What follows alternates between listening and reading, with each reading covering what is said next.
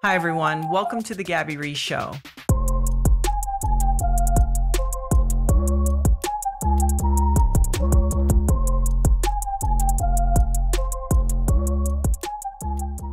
Hi, everyone. We have Elijah Allan Blitz, and we are doing our bonus conversations, what I like to call counter talk. For those of you who have not heard this before, uh, I am oftentimes in my kitchen. I'm Elijah sitting at my counter, and we are having healthy conversation. Occasionally, I wouldn't call it debate, but discourse. Yeah, yeah, just a little back and forth Yeah, we have different about, yeah. especially about technology. Um, Yeah. You're always trying to get me to look at it as a tool. So I I've been doing that and learning as we go. So I'll I'll just dive right in. You came over this week and sat with me for a bit to really give me just an easy way to start using Chat GPT for something that I have to do every week, which is I have to write. I choose to write my intros for my show, and it just talks about the guests, what we talked about, the links to the guests, either websites, social media handles, books, and other things. So um, this can be time consuming as well as it's not that it's tedious, but you want to do a good job. And so I I went ahead and used Chat GPT. You taught me about the cues and just how you can add, change, modify, and then presto, there it goes. So I I admit I thoroughly enjoyed it. Hey, I haven't heard this yet. That's great. I'm so glad. and the thing is is because you can really use specific cues or just in my case actually i i didn't ask it to write it for me i asked me it to rewrite Right. it for me Yeah. because that right now works more efficiently for my needs Total. um, now i did mention to you jokingly not jokingly about um, college entries for kids Right. Yeah. so kids really have this whole thing about they have to do an essay about themselves for colleges. And then I started thinking, I go, well, is AI going to be doing this? Because there's a whole industry around uh, getting into college. Yeah. And I don't mean, hey, we're going to paste your face on a lacrosse player and you look like you play lacrosse. I'm not talking about that kind of stuff. I'm just saying there is a real industry of groups that they spend time helping your kid craft something that they hope will get the attention of these universities. And so I asked you about that. Yeah. What do I- you think? I think absolutely. I think the way, what did you ask me? You were like, do you think that's going to start popping up on Fiverr? Yeah, that was it. Yeah. Yeah. Yeah. Absolutely. Like I'm, I'd be, we can look right now, but I bet it already has because it's just so easy. All it takes is somebody with like a preliminary understanding of how that system works. And then they can just put it into their algorithm and start to tweak based on what they know. That Even if it has to be kind of long, longer. is the unlimited character tokens. Do you think people are going to be doing their thesis and things like that? I think they already are. Really? Yeah, we talked about the lawyer in Florida that like actually Oh. like presented his whole legal brief to the judge, and was the judge was like, "Wait, this isn't true." Like, but that was back when ChatGPT wasn't as good. That was still three point five instead Right. of the new one. So, absolutely, I, I'm I'm would bet heavily that it has already happened for people to write their thesis. It's interesting. I, I caught a ride the other day from the airport from a lady. It it wasn't an Uber, but it was like an Uber. And she was saying that her, she was in, did something around um, graphic arts and then there, something about writing. And she said Fiverr had really uh, diminished her role, Hmm. her job. I wouldn't imagine. I would. I don't know. I wonder, but I would guess that it's probably not Fiverr and people on Fiverr using these tools because it's not like they're the most, the best in their field. If they're on Fiverr, you know, these are very cheap tasks, or they're Mhm. charging very little for them. But that they have all these tools to make this so accessible and so easy and so high quality. Um, Mm. this is one of the, actually the interesting things because Sam Altman was doing the rounds this week, and one of the interesting things that he said was that he's like, five years ago we thought it was going to like AI was going to replace jobs, and it was going to go blue collar, white collar, and then maybe creativity at some point, but we don't know because it's like a magical thing that nobody understands, And they're first. and it's gone opposite. Creativity has been ta- like there's artists and writers all losing their jobs first, and then white collar and maybe blue collar at some point in the future once these robots and everything starts getting automated you know but it's like there's all these you know if, if you have artists that have now lost their jobs because midjourney can do just imitate their work or do even a better job in some cases but you still have 200 people working in an amazon fulfillment center it's almost like we've become the slaves to this thing you know Mhm. he didn't say this part but that's like that's just a really interesting perspective on like oh oh this went way different than we thought Who was I listening to? Somebody uh, some podcast, and they were like, "There's no way." Was this the other night? Or was I with you? Where it was like the humans are not going to give up control to the machines. It sounds familiar, but what? I'm trying to remember, uh, but I thought, oh, is it that's is it that clear cut? I don't think so. I don't think it's a clear cut. Like the boss won't give up control to the machines, but the boss is more than happy to have the machines do the work. Yeah, and I think we're all going to start to become bosses in that sense. Like we're all going to become managers and curators for artists, as opposed to just like we're just doing the design. We're picking the best designs and then presenting those to the clients uh, for an artistic role or for a manager role. You're, you know, what what right now be a lower level employee is actually managing all these different tasks because you have these autonomous AI agents doing all these tasks and you're then presenting this to your higher ups and saying okay we've done all these things and here's mm-hmm. the results interesting so just for fun i did I at least two, almost maybe I don't know if I did three, but I did two interviews for sure this week. Uh, Duncan Trussell and Raghu Markus with another interview, a woman, uh, Dr. Nicole LePera, and uh, very different, but for fun. Uh, and I, I, read their books. Uh, one is um, the movie of uh, me to the movie of we, and her. she has a third book on sort of being, forgive me, being the love that you want or mm. something. It's her third book, but I read these books and I'm busy, but still I thought, all right, I'm just going to see. So I asked ChatGPT the top five questions that you would ask, right. and they were okay. Yeah. They weren't great. But did it inspire anything? That was more interesting. And yeah. also, I'm in this way, not old school, but I figure if you took the time to write the book and are taking the time to talk to me, I'm going to really try to also feel out what is landed for me. Because I also feel like if you listen to someone's show, you listen also for their point of view. Mm-hmm. Um, so I tried to be disciplined in that, but I I'm not. I, I did wanted to see, and they were good. Like if I was a twenty something who was like, "Hey man, how can I get into this?" Yeah. and it's a side hustle, and I have a real job. It would be an interesting way to kind of right. jump the line. Yeah and really get a kind of get your head around some of the concepts in some pretty good, solid, broad strokes. Right. I, and I love that you're still completely like, no, I want to do this, and it's just augmenting it or enhancing it potentially mm-hmm. with these tools. Because like you got the five questions, you're like, nah, these aren't as good. Like yeah. for maybe for somebody else, they might work perfectly, but for you, it, it might even prompt from like that's what I see the potential at. Like, that was a good you. question though, asking yeah. me, well, did it inspire anything? Yeah. And the other thing is, is we, we will say this one, you know, thousands of times. Nothing is a substitute for experience. And so you can have all the knowledge and the co- concept, but it's like, well, wait a second. How does that, what does that play out in real life and in experience? And so I think that that's a, that's such a great thing because it's like human touch, human company, mm-hmm. and human experience, even if it's the humanity part okay, if we're talking about, you know, getting a product from A to B, all right, maybe we can farm that out. Yeah. But did you see the massager? Did I show you that? No. They had a robot massager. Oh yeah.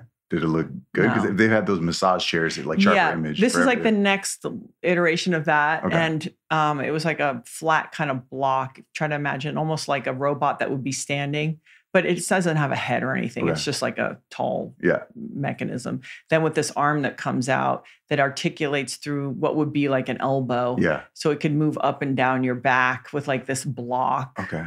So that was there. But it was funny. I showed um, Elle. Yeah.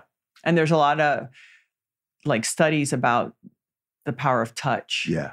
And how you can use all these like guns and things and right. like a Theragun, not yeah. a gun. And uh, all of these tools, but that there's so much data suggesting that the healing part of touch. Yeah. So no, there's no. I I can't see a near future at some point. All bets are off, but a near yeah. future where the robot touch is going to produce oxytocin, you know, or all, right. all those things that come with feeling human hands connecting with another human. Yeah. Like that's that's sacred.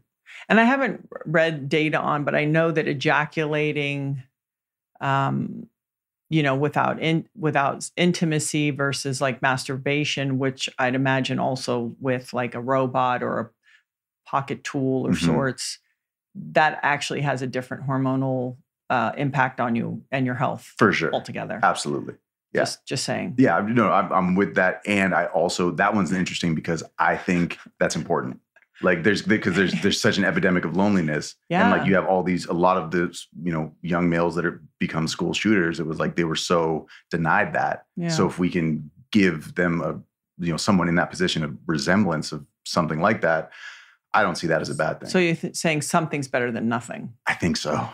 In that respect, yeah, Mm. I think so. I was listening to the a pretty in, in-depth conversation around these dolls that they're making and stuff, but there's no male dolls. Oh, really? None? Not really. None?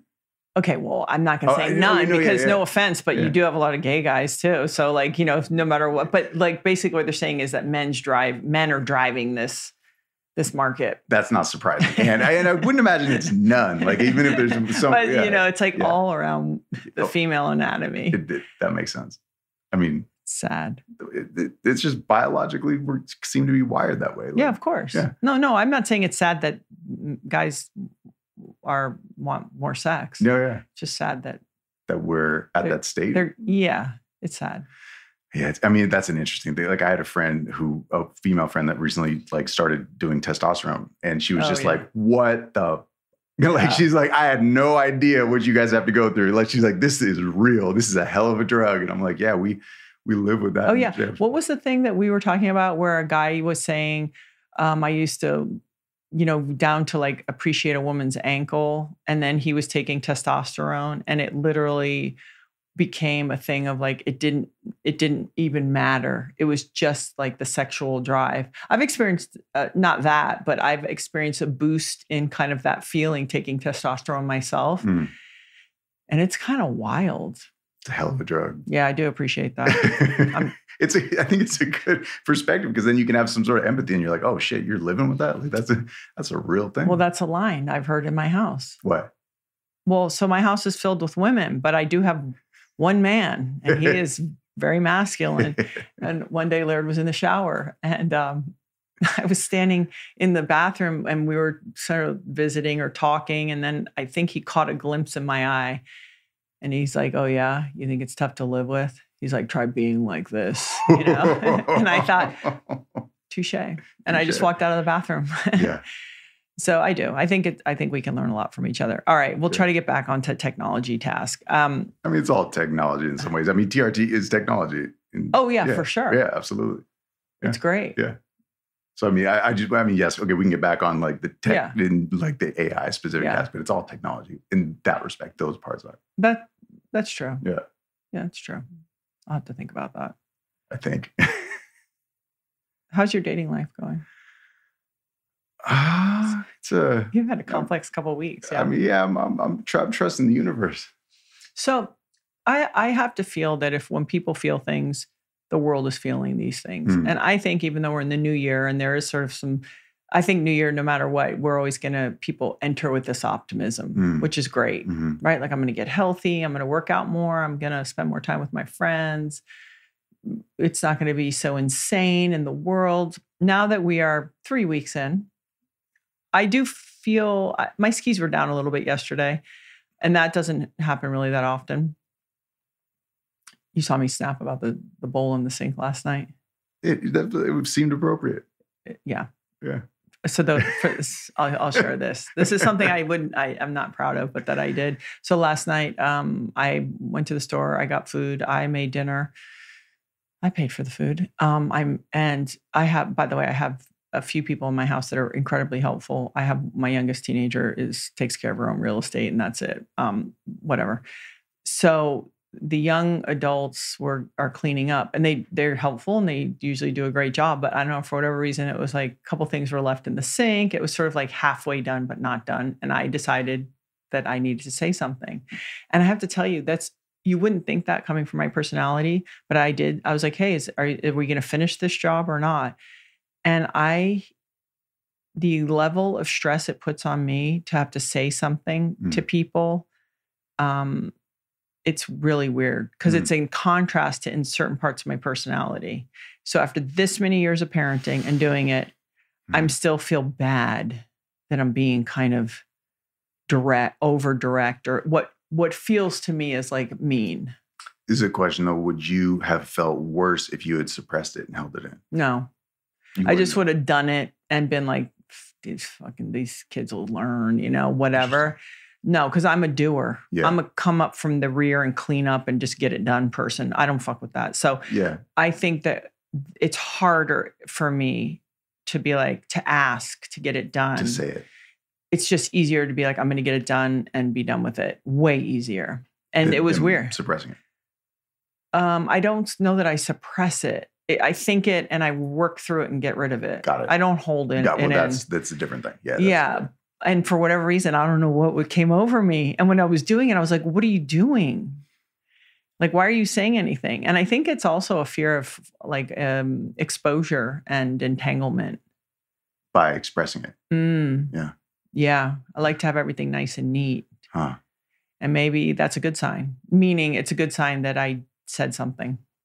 I, think so. Because you rarely say anything. I know. So when you do, it's like, oh shit, volume's up to 11 because it's. Yeah, but I just want everyone to know, like as a parent, um, and I'm direct. I, I, Yeah, feel like with my friends, but it is still uncomfortable and hard for me to to act like that.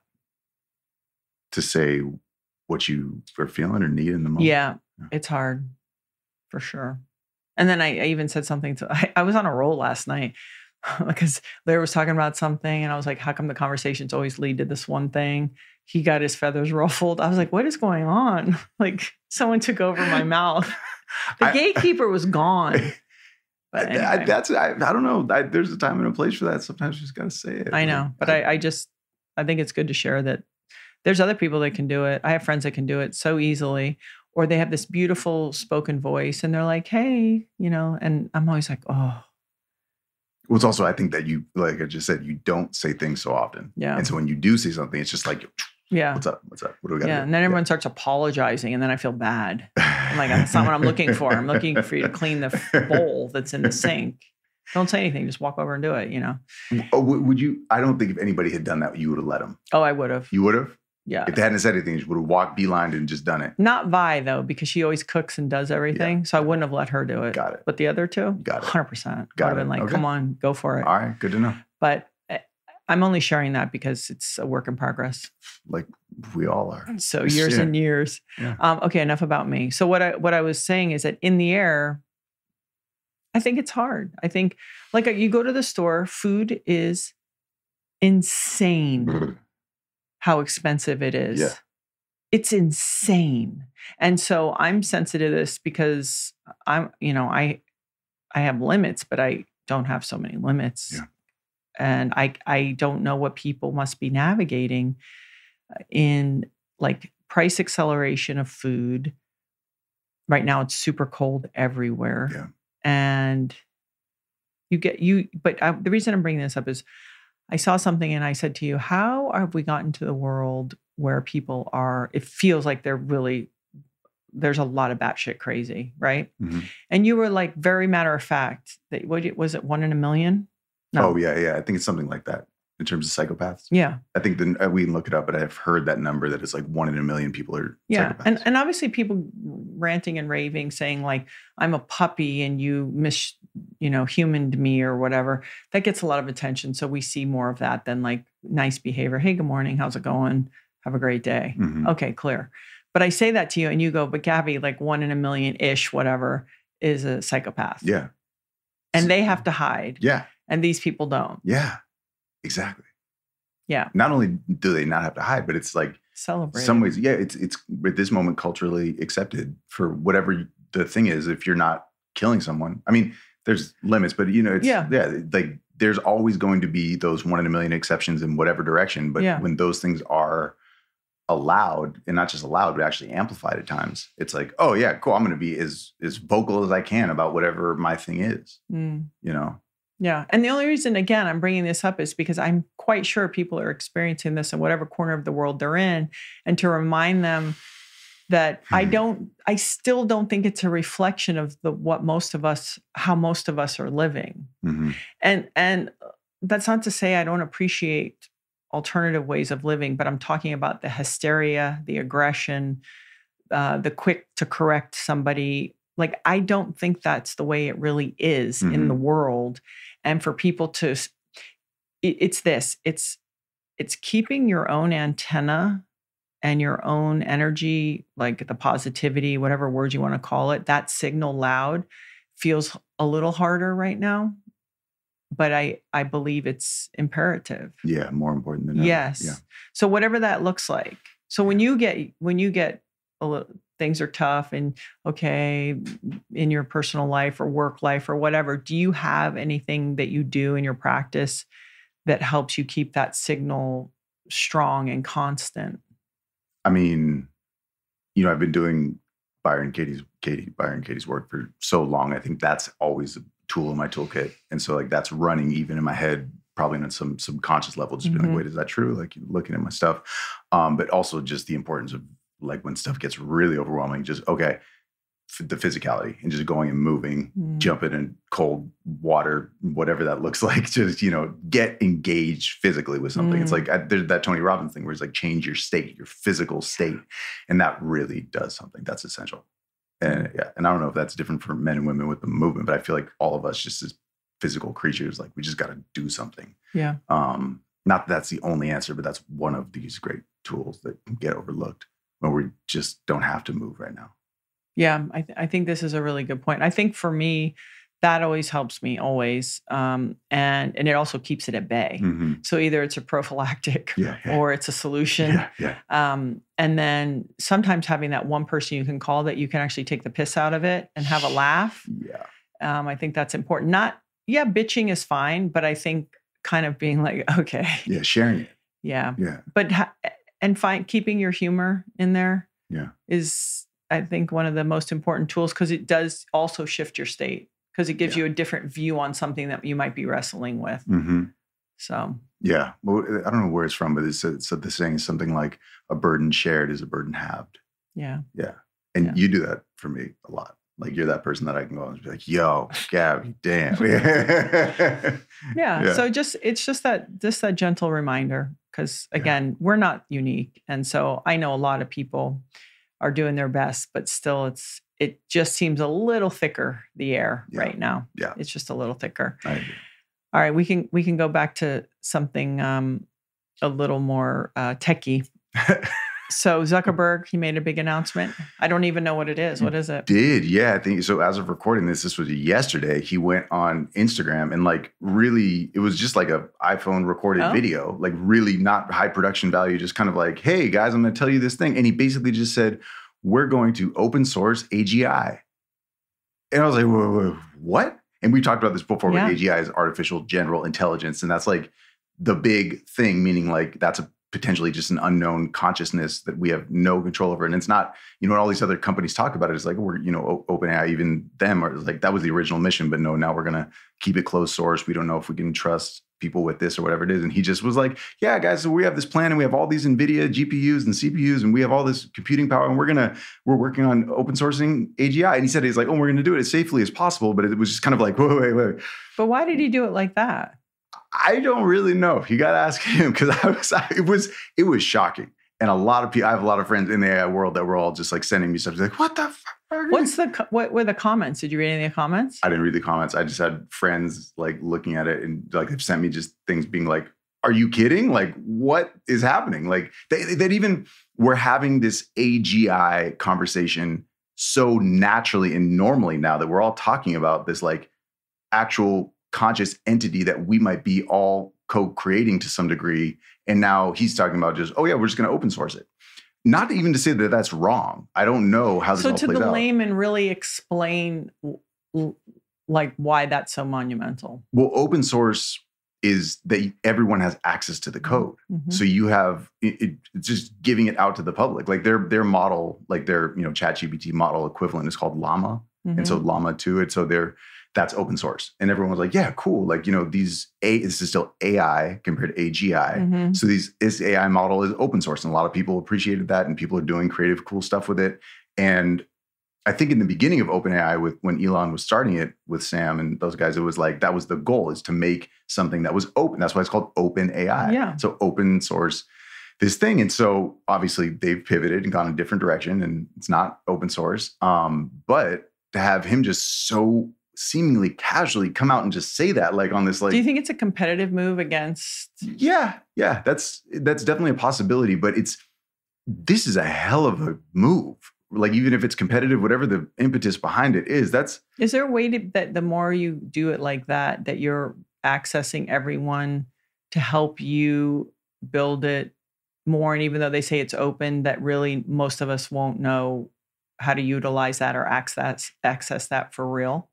Like you know, I was joking with you the other day about oh, Ta- Tesla's really like a mapping company, uh-huh. right? Like, Yeah. huh, But that's not a joke.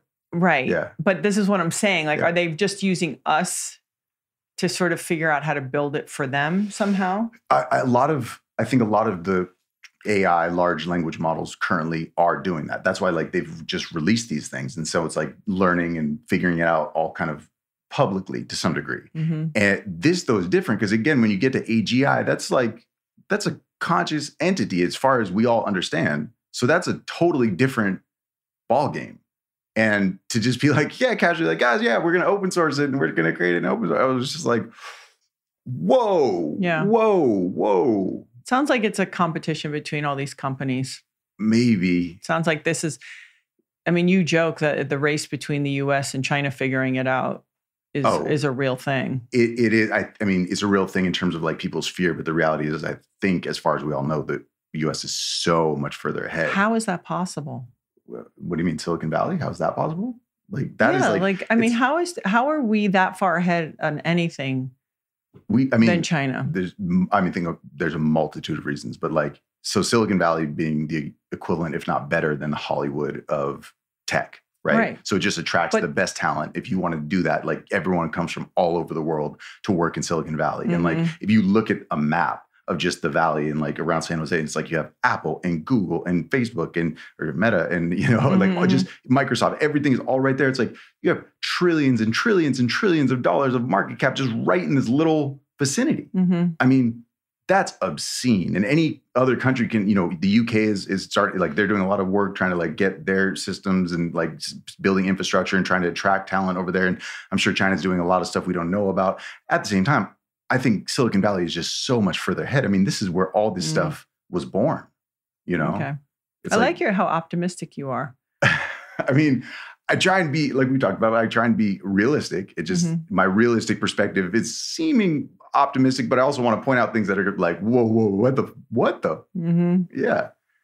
And you you were sharing that now Microsoft uh, is this for the first time in a long time is Oh, more valuable than Apple? Yeah. But in the last fifteen or so years. For sure. I mean, for a long, I mean, a few years ago, Microsoft wasn't even really in the conversation.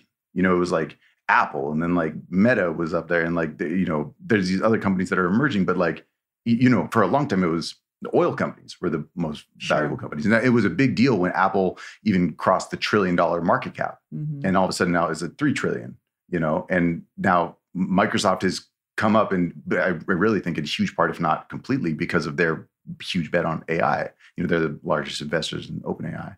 Uh, and, and Apple's been really quiet on the AI front. Everyone thinks that they're building stuff behind the scenes, which is probably a safe bet. But they, in terms of like them coming out publicly and talking about AI, Mhm.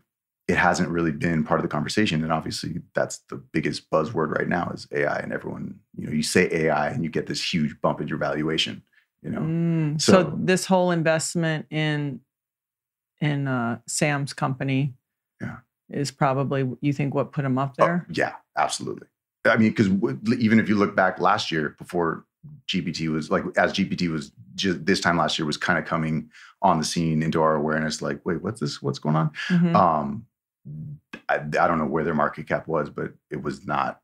it- I don't think anybody would have predicted that this time next year they would have be they would be the number one ahead of Apple. wow. So that that was just like, oh, okay, good to Mm. know. We'll see how long it lasts because you know Tim Cook could come out next week and say, okay, here's our AI suite of products that we've just been like working on in secret, and boom, you know. Yeah. Do you have a feeling about who really has their hands around it the most? I, if I was to bet, If you're, mhm. oh, I would bet You- Open OpenAI. Y- yeah, Yeah, it's just like even when, when Google came out with their large model Gemini, like everything that they presented as like this is the latest and greatest, and here's what we can do now. It's already everything that the current GPT can do, let alone the next version, whether it's GPT 4.5 or GPT 5 or whatever they're going to call it. Mhm. You know, it's so if they're like forcing themselves, Google, if they're forcing themselves to get out in front and be like, look what we have. And it's like just as good as the thing that's already out there from this other company Mhm. with 700 employees, you know, that's, that's a, it's a big deal. Yeah. Yeah. So remind me all the at this current moment because I am a neophyte. You know, I only play around with ChatGPT. I'm, you know, I do have the paid model, so I Great. I took a real big leap. Yep. You got the GPT store now too. It was at 19.99 a month. Yeah. yeah. Okay, so let let's talk about that first. So now the GPT uh, store is out. I originally thought it was going to be like a paid deal. Um, we even had all these, you know, great analogies that if you had a formula about something, you could go ahead and put that all and condense it for somebody, and then you could learn everything about marketing or whatever. Um, so, but it's different. Well, that part is still the case, what you can do with it. Mhm. Uh, the the way that they're doing the ad or the revenue share is that they're doing it by usage right now. Mhm. So it's not like, oh, you get a charge whatever you want to use the GPT. But if your your GPT is being used, they're going to give you a certain percent. And I don't even know if they've So it is a announced it. special cost. If I go, hey, I want to use Elijah's GPT, then I pay a little bump. no. It's it's in the cost, the Yeah. whole membership cost. Yeah. So what's the difference of the one I'm paying for versus the GPT store? Is You it- you have access to it.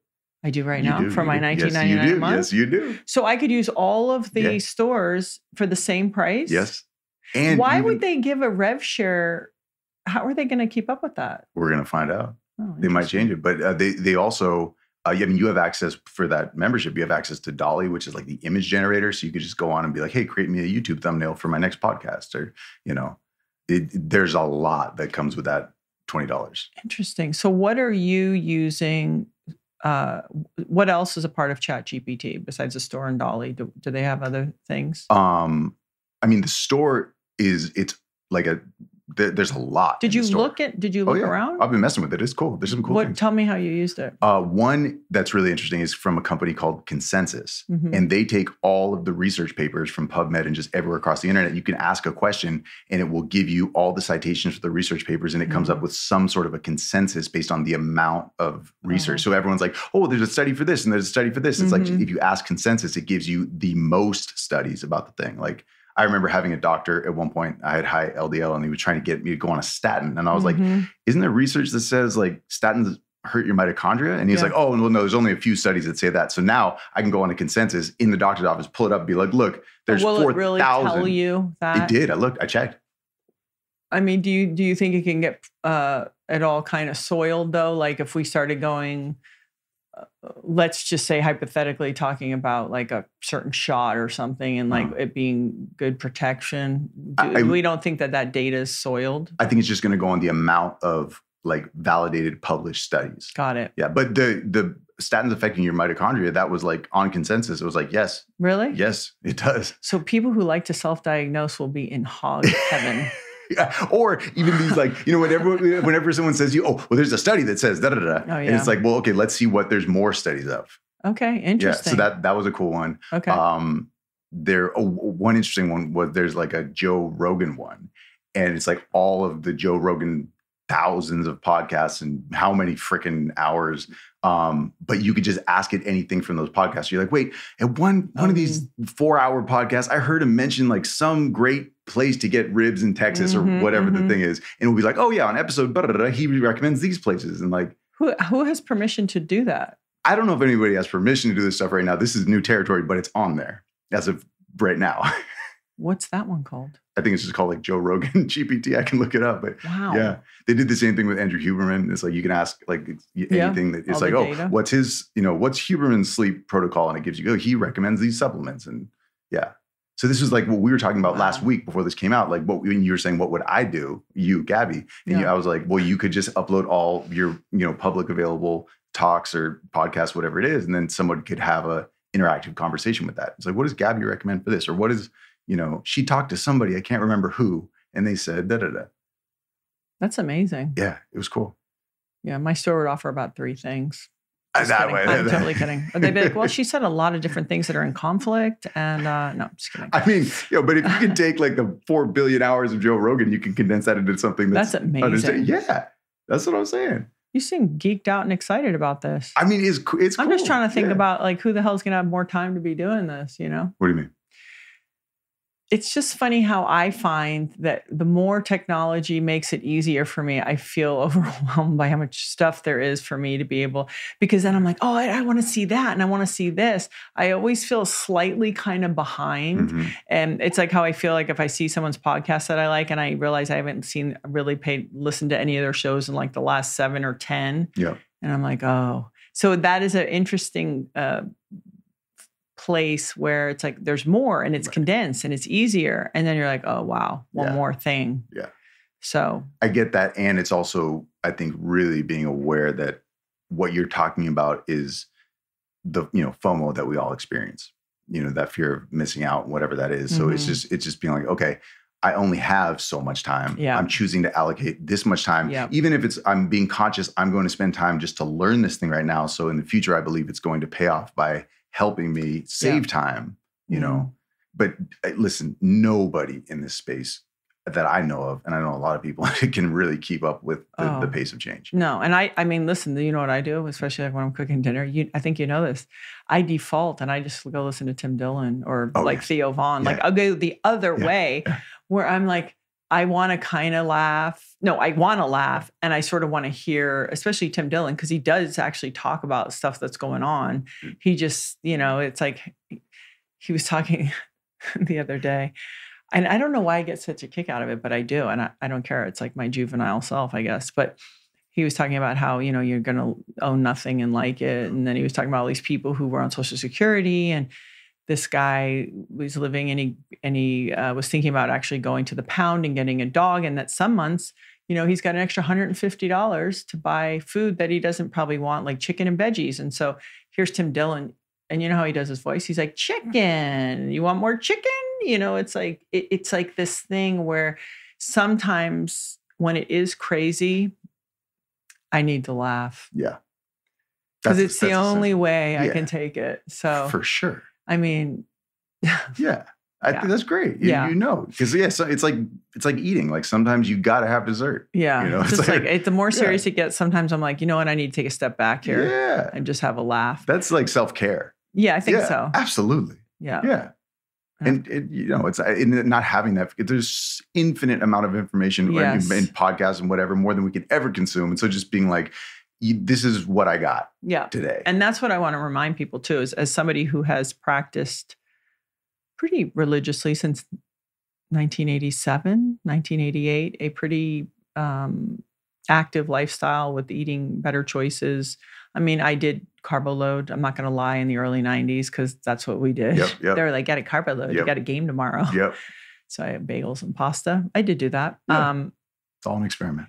It's really just about being consistent and having a practice. Yeah. And not don't get overwhelmed by it. Because even me, who knows a decent amount and has been involved for a period of time in this, sometimes I'm like, whoa, Yeah, it's too much. Yeah. So I did think I was like, we should do the for your love of Tim and We can just do one podcast where we just wear the aviators and just go on fucking rants. only he can do it. It's so amazing. It's so amazing. It's amazing. He just goes. and I, he wears the coat, the beaver fur Oh, coat yeah. or Oh, whatever yeah, it is. Yeah. Yeah. Yeah. Um, you and I, uh, you sent me a video of uh, Jamie Dimon, Mm. and it's. Is no, it, you s- actually you sent it to me. did I send it to you? Yeah, because I we were talking oh, at because you'd sent me something about that you'd like that he said earlier. it, it was during that uh, New York Times thing where Elon told everybody to go fuck themselves. yes. And I was like, and I heard Jamie's interview and it kind of went under the radar because that all- got all the attention. I was like, that guy's kind of a G. Like he's saying some really smart, not just like intellectually smart, but like emotionally Yeah. thoughtful stuff Thoughtful. about like how we all need to come together and we can't just be like blue and red and Democrat, Mm. Republican. And then you sent me this video. Yeah. So he, uh, for those of you who don't know who he is, and most of you wouldn't, he's uh, is he the CEO of J.P. Morgan? Yeah. So obviously, I always feel like these these guys in these financial institutes, they also have an inside view on things that are going on. But he basically sort of implied that we can't um, assume because maybe somebody's for a gun or um, in making America a good place to live. So you want people to have a living wage and be able to feed their kids and get an education. That then all of a sudden somehow he's like that they're Trumpers. Mhm. He's like 75 million people. Like we're all more decent than whatever that notion is. Yeah. And so he was really reasonable. And I believe it was on CNBC. I think you're right. Yeah. And I thought that was kind of interesting because they wouldn't even show, uh, let's see, what's her name? Rachel Maddow, that group, and what other group wouldn't, remember, Yeah. wouldn't show Trump's acceptance speech Yeah. because they don't want to have misinformation or spread things that, I don't know. Something I don't remember. Yeah, it was a whole but yeah, thing. something like that. and um and so he comes on and says that and it's not this is not about being for trump it's just about um somebody a voice of reason yeah. that was all Yeah. i thought he was a voice of reason Yeah. and who someone else was accusing right what were you telling me that they called the uh election or the numbers before Oh yeah, well that was what was so This crazy about the. Trump thing. Yeah, they were because all because like everyone on the Trump side was saying like, oh, you know, MSNBC and CNN they won't show Uh-huh. Trump's interview, so like they hate Trump. And then I think it was like Nikki Haley and Ron DeSantis came out and they're like, oh, because CNN called the election early in, at- in Iowa, Yeah. like they're trying to support Trump. And it's like so every side is being like, wait, what, what, it was amazing what are we doing? Yeah. So I, I just hope that people are uh, slowing down, paying attention for themselves, and um, and maybe uh, listening to people a little bit with a voice of reason. Okay, so I'm going to play you one thing I heard today that I played for Viola, and people can find it. It's it's probably a few minutes. So if people are sick of us, um, thank you for your time, Elijah. I appreciate you Thank so much Oh, and um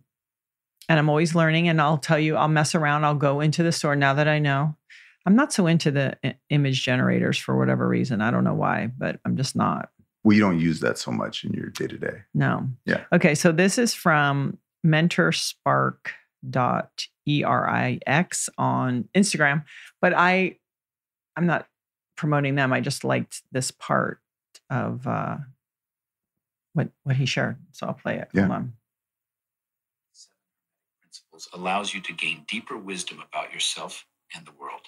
The first principle is mentalism. Mentalism states that the entire universe is mental in nature. Our thoughts and consciousness shape our subjective experience of reality. The second principle is correspondence. Correspondence refers to the idea that patterns existing on the macro scale of the cosmos also exist on the micro scale within an individual. As above, so below. The third principle is vibration. Vibration states that all things in existence consist of energy vibrating at different rates. By controlling one's own vibration, one's subjective experience can be shaped. The fourth principle is polarity. Polarity recognizes that apparent opposites like light, dark, good, evil are extremes of the same thing. Integrating opposites leads to truth. The fifth principle is rhythm. Rhythm reflects the ebb and flow of the universe between extremes in an endless cycle. The sixth principle is cause and effect. Cause and effect states that every effect has a preceding cause.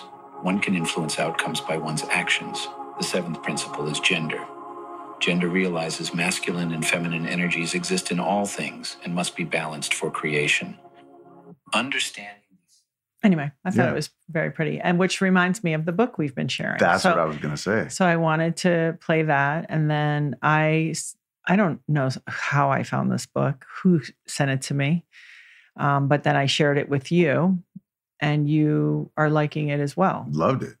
So it's a book that if I am not alone listening to, um, I I can't catch it. I'll be honest with you. And before I forget, Dr. Nicole LePera's book is How to Be the Love You Seek. Got it. So I was close, but I was off. So anyway, so this is a book that uh, it's only four chapters, and uh, it's called Leadership and the New Science. It's by Margaret J. Wheatley. So if anyone is interested, it's a it's a it's about quantum physics in life. Yeah. I mean, I'd love for you to share uh, what you've been enjoying about it because I think it's a it's a beautiful book. Right. I mean, th- there's, I mean, there's so much that they talked about in that, especially as above, so below, and that's Mhm. just fractals, right? You know, it's just like she talks about the Mandelbrot set in the book, which is like this infinite in, infinite out. It's like when you try and measure a coastline. You know, it's like actually, as you can get as granular as you want. You can get down to the grains of sand. You can actually never really measure a coastline. Um, but I think one of the things that stood out to me, I don't know, many I have, I have a bunch of notes in that book, but uh, the idea that leadership is what you do and that it's not so much a role. Like it's you you show up as like what you do and you're how you are in the world and what we are our, our actions determine who is the leader. It's not like you're just given the role. Okay, you're the leader, so you take it. It's like no, you earn that or you do something that puts you in the position to then be the leader because we all listen to that. Mhm. And that, I mean, I see that especially in this house with Laird, and it's just like I feel like you live that, and it's just, Yeah. It's really that that got me.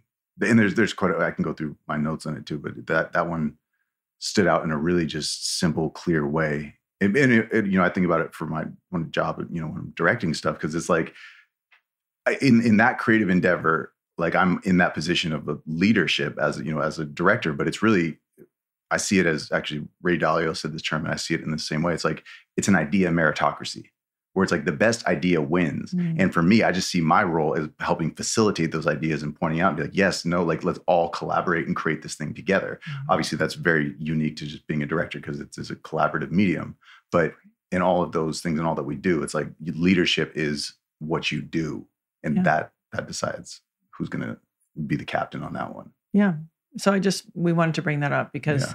that's sort of current this week. So the leadership of the new science, and it's by Margaret Wheatley. So if people are interested, Lige, Yo, I might become a tech head yet. You never know. you- I mean, you, you kind of are. Look, you got the whole podcast set up. Oh, no. Listen, when we start this, I say to Lige, yeah, go ahead, get everything dialed up. Because I mean, if I had to figure out how to get all the cameras and everything recording, maybe, but I think you've done a great job. And you listen, tech head is a very relative term because, like, you could ask somebody that has no idea, and you're like, "Oh, you are dialed like from oh, emails to podcast to Oh, mics yeah. and everything. You've got this." thank you. All right. Yeah. Okay. So to next time, we'll see what next week brings. We'll it's see. the ever changing world. it truly is. Like, and that statement has maybe never been more true. Like Sam Altman said, he's like talking about OpenAI and what he's doing. He's like, "This might be the last hard thing I ever do." Yeah. Yeah. So But we we still have to be people. absolutely. So Absolutely. Okay. And this is the time of who knows. sanity and humanity. Let's mm. go. Amen. Thank you. Thank you. Thank you for listening to this week's episode. If you want to learn more, there is a ton of valuable information on my website.